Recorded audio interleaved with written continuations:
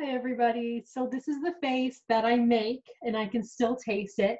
I had applied the silver diamine fluoride on myself and you might be wondering why would you do that, okay?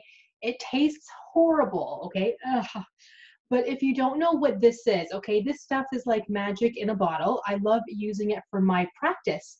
But when I went to the dentist, there were some watch areas and suspected decay on one tooth, maybe even two teeth. So my 3-6 occlusal and 4, um, 4-6 occlusal.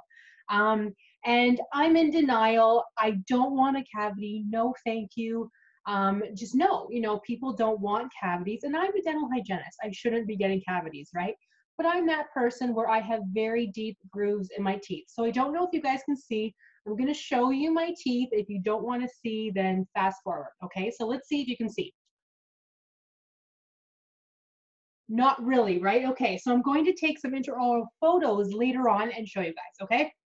So anyways, I have deep grooves and I'm worried that I have cavities, but what I want to do is I had applied silver diamine fluoride to help to kill that bacteria that's possibly causing the cavity and to seal that up so hopefully it doesn't get worse. So silver diamine fluoride is a temporary fix and I'm the perfect case. You know, I could watch those areas, or I should say, the dentist can watch those areas. I go back in six months, they have a look to see if it got worse, or I can be proactive and put some cavity killing liquid that tastes horrible on those areas to hopefully penetrate deep enough, kill the cavity. So then when I go back in six months, the dentist says to me, oh, well, now everything's perfectly fine. Because you might notice that when the dentist is checking your teeth, they check with the Explorer, right?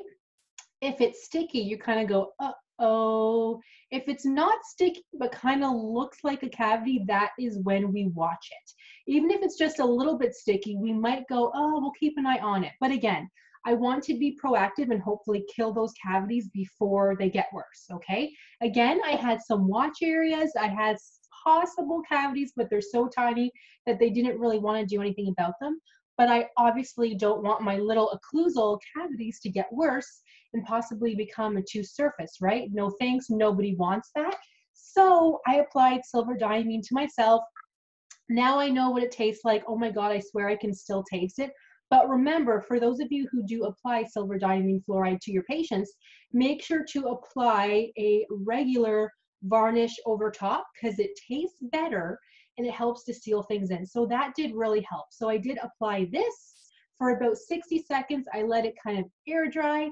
I was kind of doing this the whole time because I could taste it, right? But I'm trying to stay open for myself. You don't want to swallow it. I'm spitting into the sink. Then apply this over top, which is what I did. I used a little micro brush for the silver diamine fluoride. Sorry, guys. Let me show you that. So see how it's really tiny? And then I had used a regular brush for the fluoride varnish. So does everybody see the difference? So the blue is for the fluoride varnish and the micro brush is for the silver diamine fluoride. Because remember in some of my other videos, it turns the area black. My intraoral camera is a perfect example. I somehow got some silver diamine fluoride on my intraoral camera. Notice how it's like brown, you guys?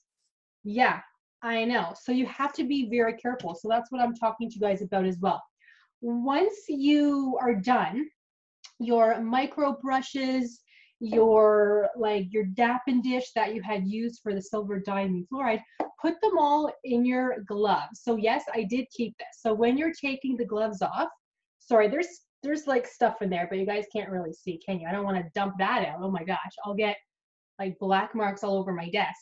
Um, put it in your glove and then throw it out, okay? I'm touching it because it's my own saliva, okay? Just in case you're, you're wondering, I didn't just pick out, out this dirty glove. It's my own saliva. Back in the garbage it goes.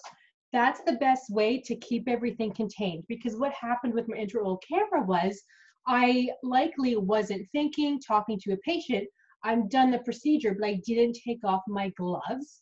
I had just used the same ones. I probably had some wipes on hand and I started wiping with the disinfectant. So that probably touched something while I was wiping it. Yes, it has a, a barrier, but I still wipe from here to here, right? Because that you can.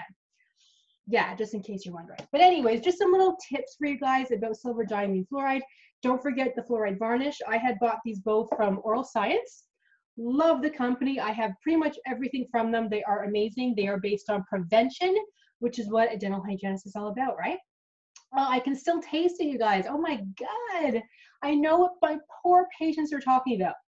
Thank you guys so much for watching. Let me know if you have any questions.